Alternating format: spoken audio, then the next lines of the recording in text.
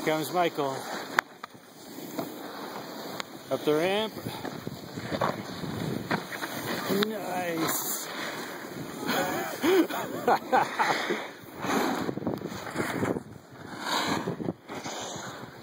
Excellent work.